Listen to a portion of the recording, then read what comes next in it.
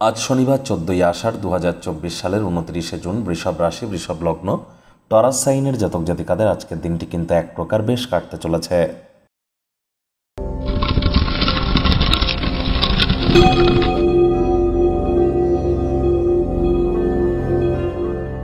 স্ক্রিনের শুরুতেই আপনারা দেখতে পাচ্ছেন শনি মহারাজের প্রণাম মন্ত্র।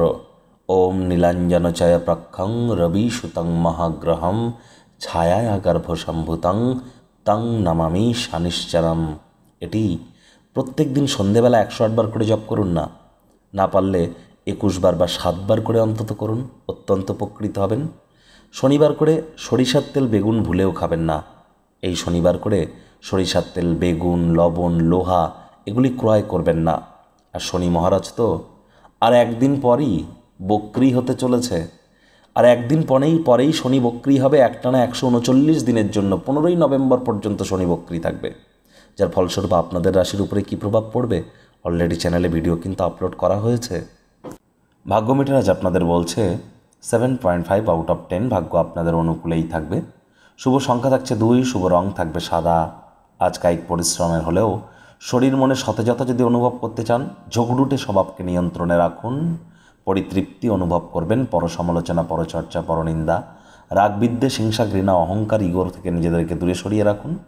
অর্থগত ব্যাপারে আয় ইনকাম আজ আপনাদের বাড়বে, আর্থিক লেনদেন বিনিয়োগের জন্য তিনটি আপনাদের পক্ষেই থাকবে। ভবিষ্যৎ জীবনকে সমৃদ্ধ করতে অতীতে যে সমস্ত অর্থ বিনিয়োগ করেছিলেন, তার ফলস্বরূপ আজ আপনারা উপকৃত হবেন।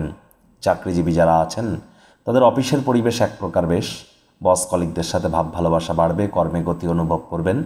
নিজের মেধা, দক্ষতা, ট্যালেন্টের দৌলতে প্রশংসার পাত্রপাত্রীও আপনারা কিন্তু হতেই পারেন। রাজনীতিবিদ যারা আছেন, জনসংযোগ বৃদ্ধি করুন, সমাজে পপুলারিটিও বাড়বে, ফাঁকা সময় অনেক পাবেন।